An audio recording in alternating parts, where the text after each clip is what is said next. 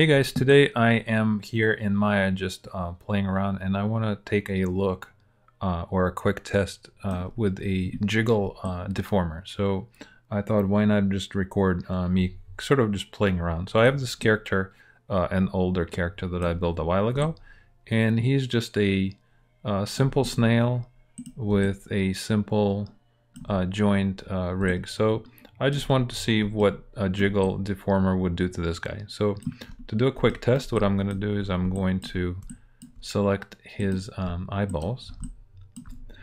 And I'm going to press S um, on the first keyframe. And my um, automated keyframes are on. Then what I'm going to do is I'm going to go to like frame 5 and bring both of these guys up.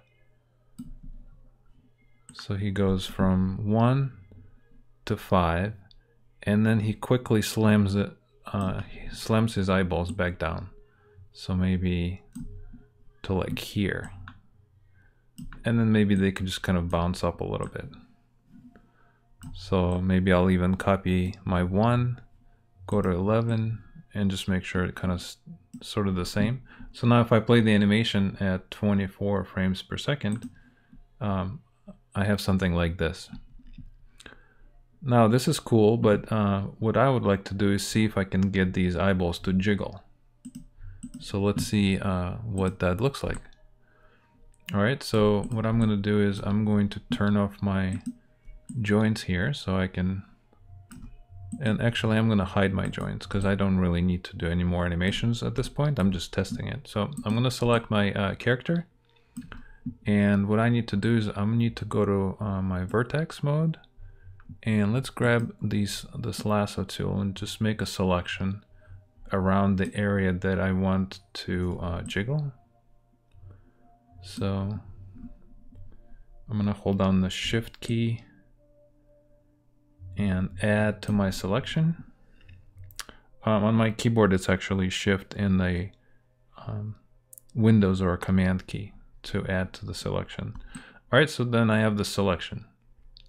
Now what I'm going to do is go to deformer, go to uh, jiggle, and I'm going to say jiggle deformer, this guy right here.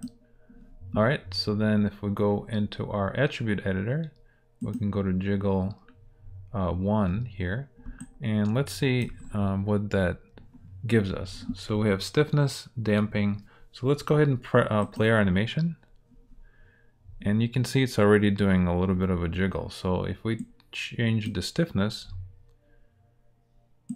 if we turn this down and maybe change the damping, yeah, so this is what I was uh, looking. So now he does this really rubbery fun, and maybe I should get out of this uh, wireframe mode so you could see.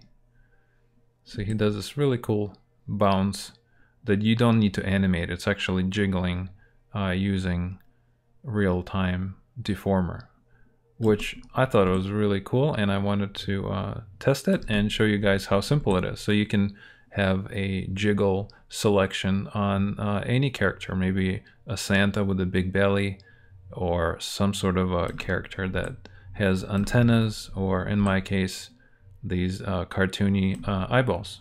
So um, I hope you found this helpful. Uh, subscribe for more fun videos, and I'll see you in the next video.